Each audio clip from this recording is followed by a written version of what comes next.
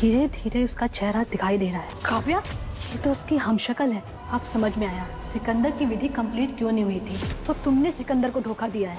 मुझे सब पता चल जाता है। अरमान ने दिया सिकंदर को धोखा।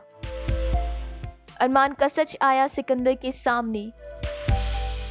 कल इस टीवी शो तेरे इश्क में घायल के अपकमिंग एपिसोड में हम सभी देखेंगे। सिकंदर ये जानना चाहता है कि सिकंदर श्राप मुक्त क्यों नहीं हुआ। विधि कंप्लीट होने के बावजूद भी सिकंदर अभी भी श्रापित है। इसी बीच वीर और ईशा मिलकर अरमान को किडनैप कर लेते हैं और किडनैपर के बारे में कुछ भी बताने से अरमान इनकार कर देता है। अब योगिनी की मदद से सिकंदर ये जानना चाहता है कि आखिर कौन था जिसने अरमान को किडनैप किया। योगिनी अरमान के मेमोरीज से फेस को देखने की कोशिश करती है और फेस देखने के बाद योगिनी बोलती है कि ये तो काव्य की हम शक्ल है। योगिनी सिकंदर और अरमान से बोलती है कि अगर ईशा ज़िंदा है तो विधि कंप्लीट कैसे हो सकता है? विधि कंप्लीट करने के लिए ईशा का मरना ज़रूरी है। योगिनी अरमान से बोलती है की यानी कि तुमने सिकंदर को धोखा दिया। विधि पूरी नहीं हुई। सिकंदर पीछे से आता है और वो बोलता है कि मुझे इन सब के बारे में पहले से ही मालूम है। अभी देखना इंटरेस्टिंग होने वाला है कि क्या सिकंदर से ईशा को बचा पाएगा अरमान। आपका क्या कुछ कहना है इस पूरी अपडेट को लेकर? आप अपना ओपिनियन हमें कमेंट के ज़रिए ज़रूर बताइए। और साथ ही टेलीविज़न से जुड़ी सभी लेटेस्ट अपडेट के लिए हमारे चैनल को सब्सक्राइब करना ना भूलें।